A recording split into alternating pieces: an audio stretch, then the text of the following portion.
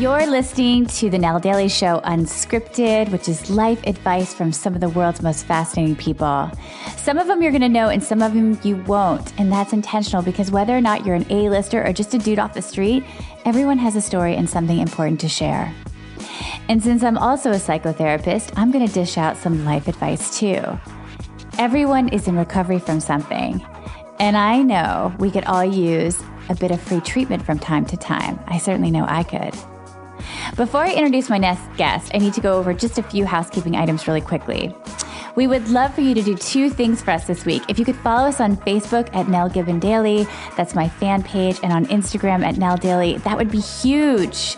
The bigger the followings, the bigger the guests. That's just how it goes. And two, if you could review our show on iTunes, I would be forever grateful, and I'll do a huge shout out to any new reviews that come my way. I will put a link on my Instagram profile on how to do these simple, simple tasks for us. If you could all take three minutes of your day, it would mean the world to myself and my team. Okay, so this week I'm bringing you the one and only Nora McInerny.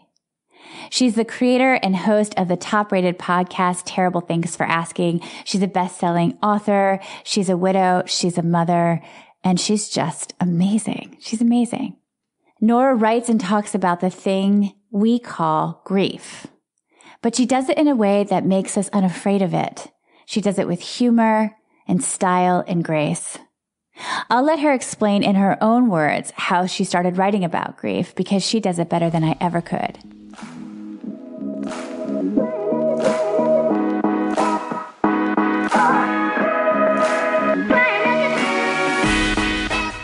So, okay, Nora, thank you so much for coming on the show today. I really appreciate you being here.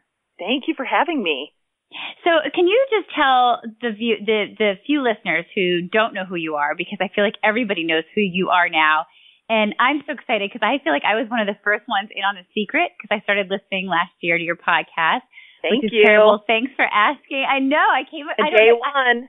since like day one. We just I found it. I was with a friend and I remember just listening to it in the kitchen, going, "My God, she's on to something." So, can you just tell the listeners a little bit about who you are and what you're up to? Yeah, my name is Nora McInerny. I am an author. My memoir is called It's Okay to Laugh, Crying is Cool Too, and it's about uh, my marriage to Aaron Purmort, who died of brain cancer in 2014, and uh, our our our marriage and uh, and his death and all of the things um, in between, all the things that make up a love story and a life story. Um, Aaron died six weeks after my dad died of cancer, just general, all the cancers, I guess. And five days before my dad died, I'd miscarried uh, my second child, which was definitely going to be my last chance to have another child with Aaron. We had an almost two year old at the time, um, our son, Ralphie.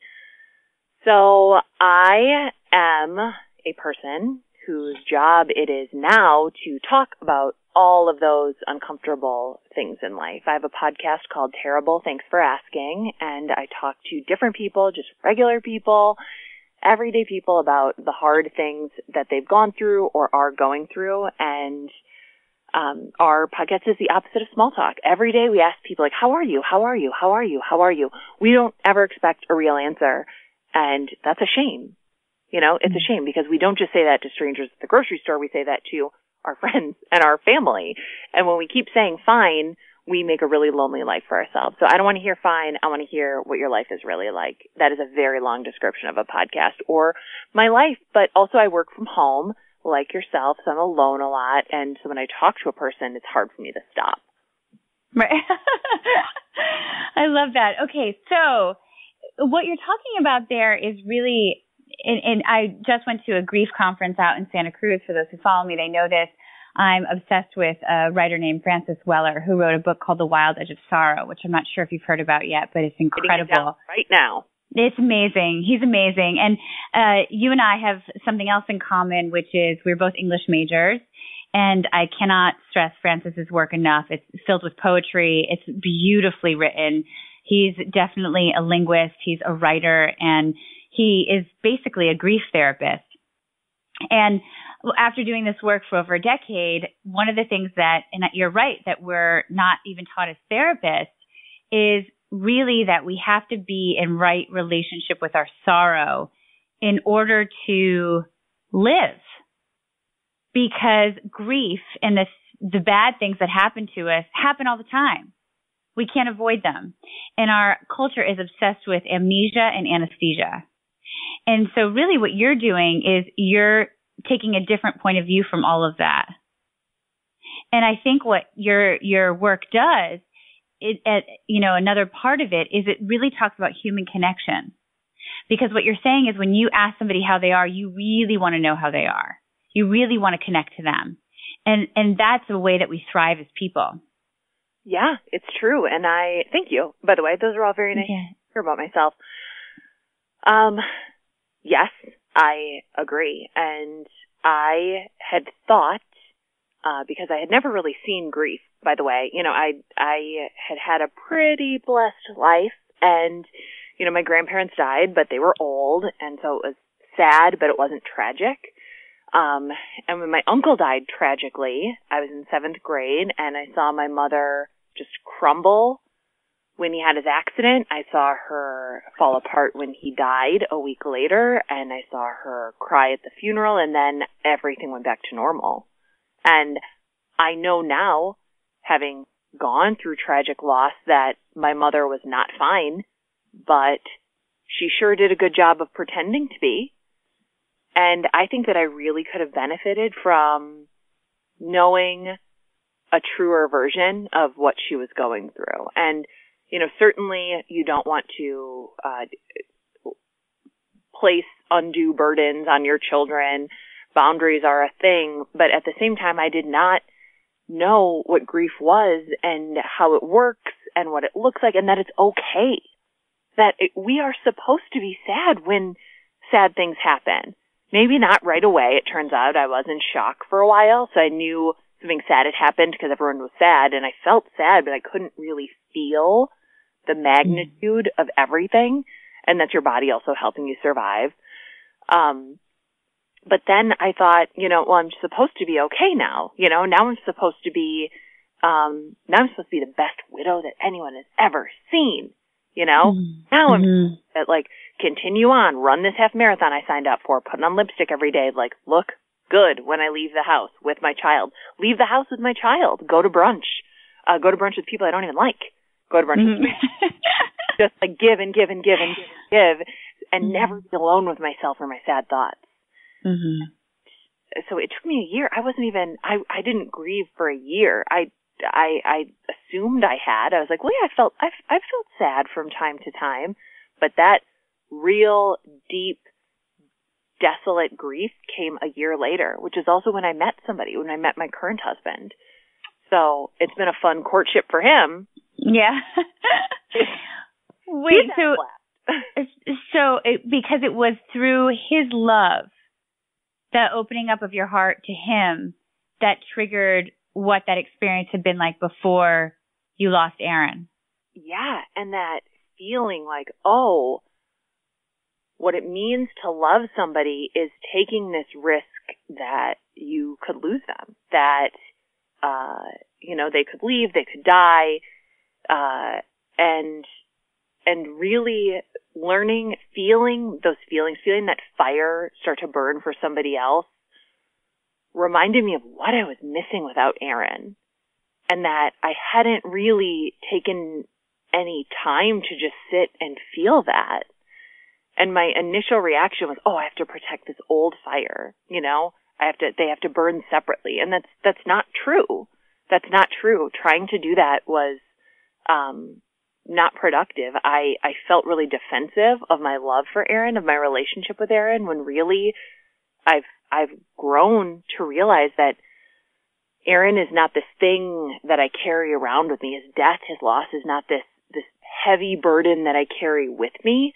It is this strong foundation for what it means to love and be loved. And I get to build on that. How long did it take you to, to articulate and come up with that expression or that feeling of, of, in some ways we would say in, in my field, resolving grief, although I don't really love that term. Yeah. But we have, the, you know, you hear the, I'm sure you've heard the word unresolved grief Yeah. Which um, I don't I don't really love the idea of it being resolved either because I don't really feel I feel like grief is a river and it moves constantly throughout our life and sometimes we're like in the middle of the river, sometimes we're on the river bank, but it I don't I don't believe in closure. It doesn't work that way. no, the closure is such bullshit. I hate the word Bullshit. I know. F. It's so Um, funny. I, I woke up this morning and I, I thought to myself, the first words I heard in my head were hashtag stop the bullshit. I don't know why. It's funny you said that word. That's great. Yeah, it's total bullshit. Yeah, I I uh so it took me a year, okay? And I've been with this Yeah. man for a year and we have a 1-year-old child. So, what a what a life. No, have we been together 2 years? We've been together 2 years. Okay. So, So you got pregnant a year into the relationship? I don't remember time is very Yeah. hard. Aaron I know. Aaron had died. I met Matthew a year after Aaron's death. I got pregnant like 5 minutes later. Yeah. Uh, which means we've we been together just a year? No, because Aaron's been dead for three years. So two years we've been together. Oh, because babies take. Nine, nine- months to be born. oh my goodness! I just completely forgot the gestation period. Oh wow. Okay, now it's all making sense. So it took at least a year, maybe longer. It, it this is a recent uh, revelation, which is that I get to have this love from from both of these men, and one doesn't cheapen the other. Like they both burn brighter together. hmm hmm It's interesting what you said because about grief, uh, Francis Weller says that it's the most solitary thing we should never do alone. And in many other cultures, they actually have rituals around grief that are much more significant than our quick, you know, wake, funeral, burial, take a week off from work, and then get back to the grind. They actually have rituals that they sometimes hold rituals in some African communities every single month where as a community you come together and you grieve this your own personal sorrow, the sorrow in your family and the sorrows of the world to get it out of the body and to know that you're grieving in a community so you don't feel so isolated. But we Oh. don't do that here. We don't. Oh, it's so pitiful. It's so pathetic. Our average bereavement leave when you lose a spouse is five days. Hmm. Can you imagine? In some cultures, you're not expected to do anything for a year. And I always tell patients when they come in in the throes of grief, or they have a friend or a family member who's in the throes of grief, and they seem to me that they're being pretty hard on them. Like, why didn't they show up for brunch? And I'm trying to get them out of the house and they won't come out. And I'm like, dude, there is nothing that should be expected of that person for at least a year. Right. Expect nothing. Expect Nothing. Nothing. If they, I always say if they want to take off all their clothes and run down Fifth Avenue and sort of howl at the moon, they're kind of, they kind of have the right to do that. Give them. I know. I'm like, play that widow card, girl. Play it. Mhm. Okay. Mhm. Play it. Yes. Yes. So, that's I'm gonna. I, that's that's so good. I. I, it's true. Like, We need to lower our expectations of people because I felt like I had to live up to everybody's expectations, and I had to be as generous as with as generous with other people and their feelings as I perceived them to have been for me, as if it were like a a transaction. And that was super damaging. I spent literally a year just bleeding myself dry. Because if people were so sweet to you, then you felt like you had to participate and be sweet back. Exactly. I see. So terrible thanks for asking is actually the truth, which was you just wanted to say almost to people like piss off. Oh But my, you couldn't. goodness. I couldn't. And then I would get in these bizarre interpersonal situations where I was like, how did I find myself here? Like, how? How did I do this? Like, how did I end up having lunch with this person? I don't know. I just want to be at home with my child. Like, why am I doing this? Why am I doing all these things I don't want to do? And I tell everybody, I'm like, you don't have to do it. Whatever it is that you feel like you have to do, you do not have to do it. Mhm. Mhm. How did you eventually like I'm sure you must have had some really bad days, but you had a kid. So so did, did what did you do on those bad days? Was there anything that you did when the grief finally hit you? Was it overwhelming after a year? Like were did you did you feel like you were clinically depressed? Did you go into therapy? did go into therapy. It also took me a year to do that. I got on Zoloft, which was super helpful. Saw a therapist, started like really understanding the connection between my feelings and my mind and my body. And that when I feel down is when I need to go move my body and get out of my head and really taking that seriously, trying to get enough sleep. Um, really basic parts of caring for yourself were revelatory for me. But yeah, I, I have a, I have a, now I have four kids. We have a big blended family and, um, I thank God, Glenda, I hope Glenda listens to this. Susie, my daycare people, Susie and Glenda, they saved me. They saved me. These women would, oh man, I'm going to cry now, but like, That's okay. Uh, you know, I didn't have to say anything. I didn't have to do anything. I could be an hour late picking up Ralph and they would be fine with it. Mm-hmm. Um, they would say to me, um, you know, oh, if you need like a night alone, like I'll stay, like I'll stay. Dylan, who's Ralph's Manny, I wanted Ralph to have like, you know, a, a constant, um, male force in his life. Dylan was 24 years old when Aaron died and he has spent every single Thursday since then with Ralph, taking him out to McDonald's. It's a it's a weekly treat, which might seem too much to people, but no, uh, please. This is a judge free zone, girl. Judge free.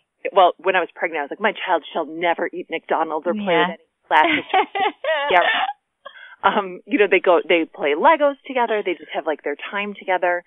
Um, I, I'm really, really lucky. I'm really lucky to have that. And uh, to not to have those people sort of anticipate those needs for me when I could not have done that um, on my own. And children are so perceptive, and Ralph is so tender, and he would look at me some days, and I would think, "I'm doing fine, I'm doing fine, I'm doing fine," and he would look at me and hold my face in his little hands and say, "Are you sad today?" And Are what you- would your response be to that? Because I, even as a therapist, I struggle with my own kids between letting them see my pain and grief but also letting them know that mommy is strong enough to be able to handle whatever's coming at her.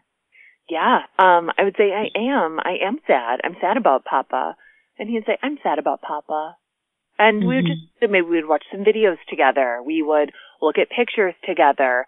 And I wouldn't do my weeping in front of Ralph. Um, but I would let him know that I was having feelings. And I think that you know, I, I just think that, I do think that's important for kids to see and understand. And, you know, I have, I have a niece and nephew who are older. They were, you know, I say older, they were like six and eight when Aaron died, but, um, you know, old enough to understand way more than Ralph did. And they've been affected by Aaron's death too. And so I think it's good for them to know that they come over to my house and there are pictures of Aaron and there are pictures of my family as it currently is.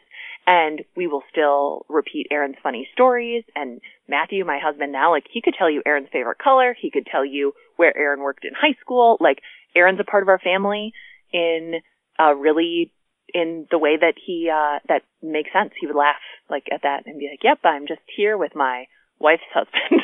like mm-hmm. hanging out. But mm-hmm. But I think it's I think it's important for the kids to know that. And now I have, you know, bonus daughter who's eleven, bonus son who's sixteen. Like they know that I've been through something and they know that I got through it. And they mm-hmm. also that it's not as if you muscle through something and you box it up and there's closure and you never think about it again. No, of course not. Like these things become a part of you. And so I think that if if I can express these things to them and around them in um in a way that is is is helpful to them, that's that's great because I didn't get to see any of this, so I didn't know what to look for when it happened to me. I, I, I just thought I had to rush through it. Mm-hmm. How how when did the I mean you oh, you were a writer before this all happened, and when did the did the writing save you through the process? I mean, some people say that they're as writers they journal all the time, and we know from psychological studies that journaling can be a massive propellant to healing. It's it's much of what I do in terms of my grief work when I work with patients and groups, and it's what I've been trained to do is help them to write because actually telling your story. They've done studies where it's not as you don't come to the same sort of insights just telling it. And I'm saying this as a psychotherapist, which is obviously talk therapy. You actually come to more insights I guess you could say, writing.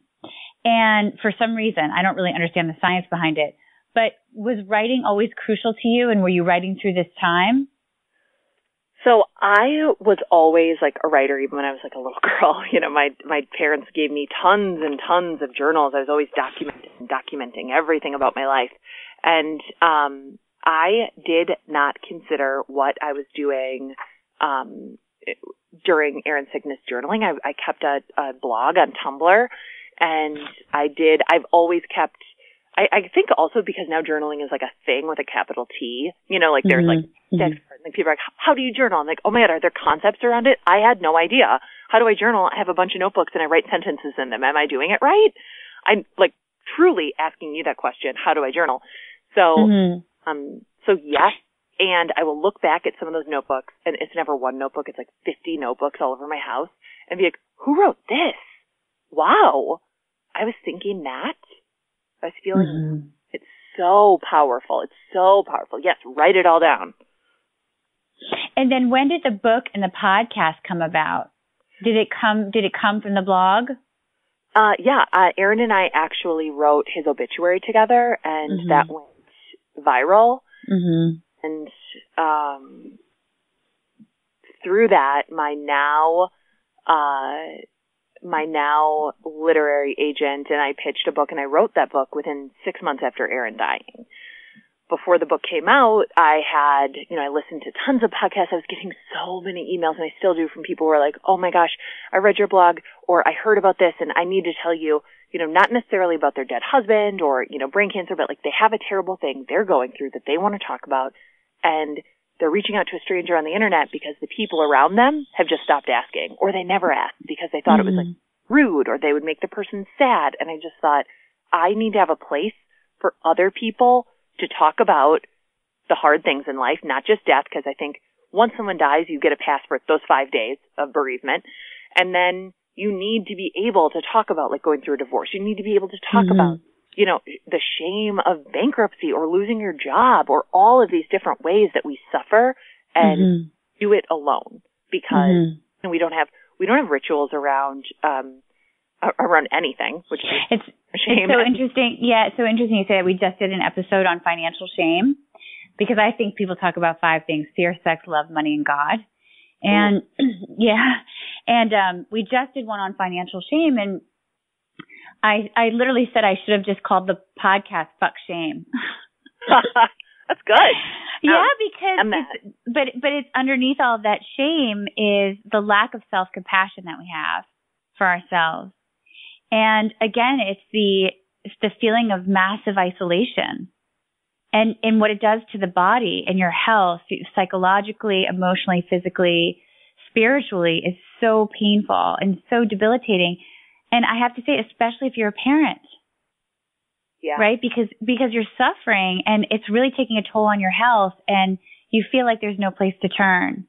And so you wanted to be, you wanted to actually be a platform for other people to come together in this way to talk about the hard shit.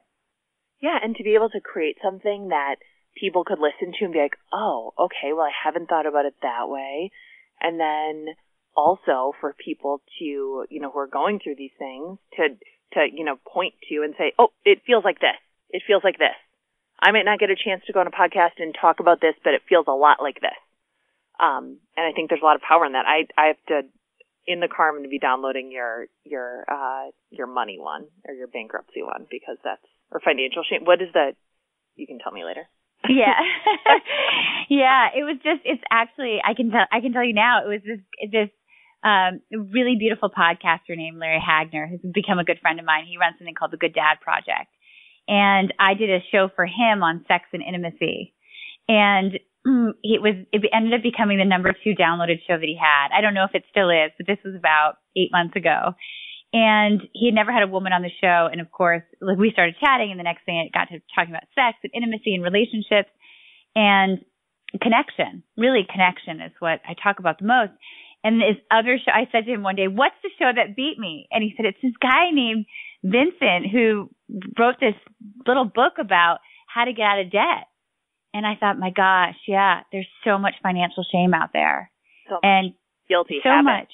it's awful. It's awful, and people don't talk about it. And uh, you know, um, the the other thing that I wanted to ask you is, do you wake up now in shock that your life has changed so radically? Because as you're just dealing with the grief, you're young, you're a young woman, and again, you started this uh, Hot Widows Club. Yep, Hot Young Widows Club. Oh, I can't hear you. Can you? Sorry, can you hear me there? I just Uh, lost yeah. you for a quick Oh second. yeah, can Um. Yeah. So so you started the Hot Widows Club and but I can imagine here you're going through this time. The world doesn't stop. You have little kids, which just makes every day go by so quickly. You're lucky if you, you know, have time to pee and, you know, eat anything. And and here you meet a new love, you get pregnant. Do you wake up now a couple years later, you've published a book, you did the podcast, are you like, holy shit? Oh yeah, and I'll lay down in at, in bed at night and say holy shit, or I will, you know, um, I'll tuck Ralph in and we'll say our prayers, and I will, you know, we'll we'll talk about Papa, we'll talk about Grumpy, which is my dad's name, and or my dad's grandpa name, not his real name, and um, and we'll talk about you know our family, and I will think like I could not have imagined this, and I'll say that to the big kids too, you know, because our family is made from broken things. And I will say to them, I did not think I could get this lucky, and I know that I am not what you asked for, but I'm here for you, and I hope that uh, that this that you see how beautiful this family is for what it is. Um, so yeah, every day I have a holy shit moment. I think every day, um, if you cannot think of one single thing that makes you go, holy shit, wow, I am lucky. I am lucky that I just get to wake up and have a functional, healthy body and that I have people who love me and I have a place to sleep. Like when I am feeling um like really like those sort of like tendrils of depression starting to sneak in more, like I Mhm. truly try to be grateful for the smallest things. Like, oh my gosh, I have a car. I have a baby. I have a baby who thinks I'm pretty even though he looks up at me as if the forward facing camera is on when you're holding your phone. That's the Yeah. as of me all the time. It's just up my nostrils and he thinks I'm the greatest thing in the world. Um So like I awesome. I got to fall in love twice. Like some people don't get to fall in love even once and I got to fall in butt crazy love twice. So all these things that seem that we just become sort of um inoculated to are actually just crazy wonderful. And do you, when you say that you start to sometimes feel depression, I talk to, you know, in the, in the podcasting world, there's so many podcasts out there that are about like, live your best life. And I, I just can't, I, I, it's so awful. I'm going to admit this out loud, but I just can't drink the Kool-Aid. Oh, and I hell- should, right? And, and people always want to plug me into that hole all the time because of what I do for a living.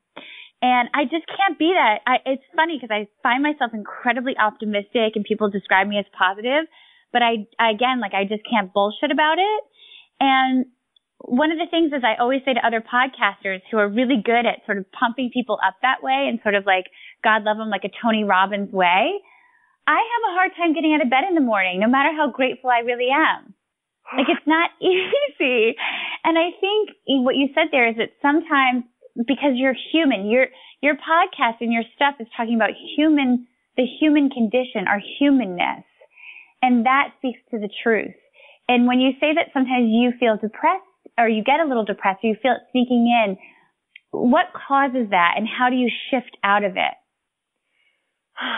um I mean, I- I know it's never really one thing, I- but like as of late. I I think that um it is like excessive focus on um uh less on what I can do like you know for myself or like what I can actually have like control over which is just me by the way.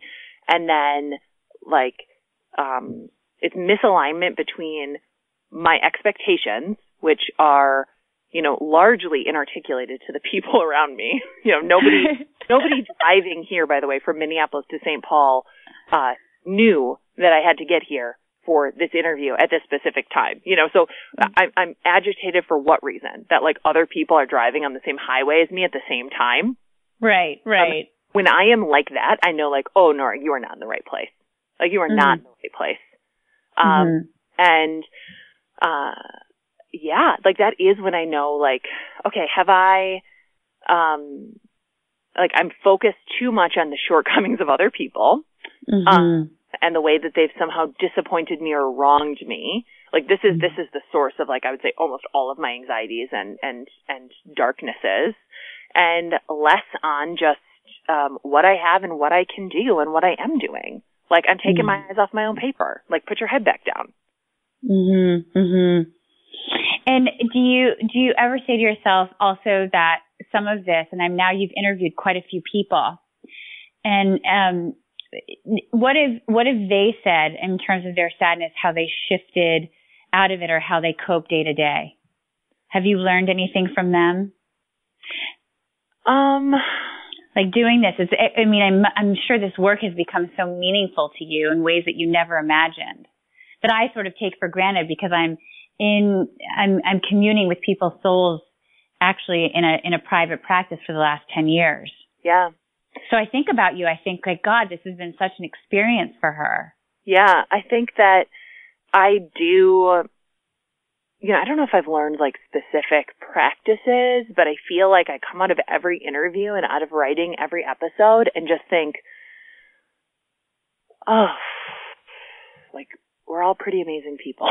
like, yeah, definitely. Yes. I hate the word like I hate when people are like you need some perspective. I think it's like the most condescending thing you can say to people. Mm-hmm. Um, they're upset or when they're like, you know, sharing an opinion on something and you disagree with them, like you need to get some perspective. But it's like, um, because perspective means so many things. They have a perspective. Like mm-hmm. you don't like mm-hmm. it, like they have a perspective. They're seeing it from some angle.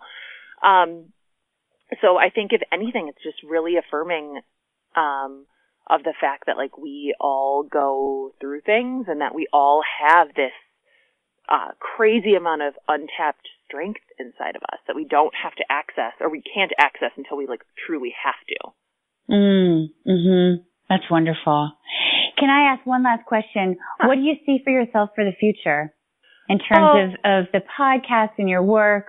What what is on the horizon for you? Um, this is the work that I love to do, so I hope I get to do this forever. uh, and I'm working on two more nonfiction books that will be due in the spring. So I'm just going to keep writing about these things and talking about these things and making things that uh, mean something to me and something to other people. Can you give us a hint about what the books are about? Um, the well, they don't, they're like kind of untitled right now. So, uh, but one is uh, you know, through my uh, current editor and publisher Harper Collins, and it's a uh, it's it's a follow up to um, my first book, um, and I, I, guess like the working title right now is Chapter Two. Awesome. Um, and which people love to say after mm-hmm. um, survived anything, um, like, "Oh, this is your Chapter Two. So it's kind mm-hmm. of um, uh, blah, blah, blah. I'm doing great. And the other one is more of a practical guide to uh, for people who are going through something hard or who are trying to help some someone through something difficult. Hard, yeah. And it, I want to end with this. Uh, that those are amazing, and that's great for us because we get to a little bit more of a window into your life and your insights and, and what you've learned. But in terms of the practical side of helping someone who's going through something, I was at this conference with Francis Weller in Santa Cruz, and a woman in the group said, you know what I really hate? I hate when people, when I'm crying, hand me tissues. and I, I've, I've handed tissues over my desk in my office a thousand times, more than a thousand times. And I thought to myself, oh shit, right? Oh. And she said, it makes me stop crying. Oh, yeah. And I thought, you're right. Right? Like genuinely someone hands you tissue, it's sort of, it's, in some ways it can be interpreted as like, okay, well, clean yourself up. Where she says, sometimes I just want to do that ugly cry and I don't want to stop and I know where the tissues are in the room and I'll get them if I need them. Ah, I just and want to like, leave personally. I, I will never, I know. And I thought I will never ever, I will like have them there, right? So people can see them, but I will never hand tissues, someone tissues again because I always think about myself. I blow my nose and then I stop crying. Yeah. Wow. That is brilliant. I know. I know. Like, we need to write a book saying like, don't hand the fucking tissues over. tissues. Ugh. Anyway, Nora, thank you so much for being on Unscript today. It was such a joy having you. I really appreciate you. your time. You're going to make it in time for a bus pickup, so go, I go. I am. Yeah, you go. I hope your baby's better. thank you. All right, cool. Have a good uh, one. You too.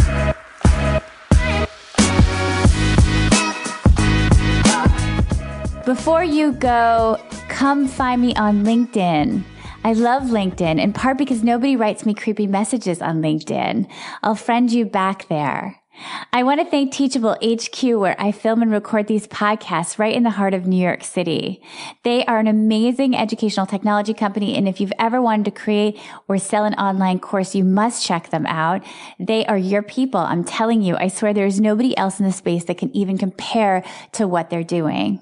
I also want to thank my team, especially Walter and Corey for making this all happen. And if you have any suggestions for show topics or a guest, or you just think, I don't know, you have some thoughts on the show, let us know. We love your feedback. Send us an email at hello at thedaly.com. That's hello at T-H-E-D-A-L-Y dot com. Until next time, thanks guys for tuning in. Peace out.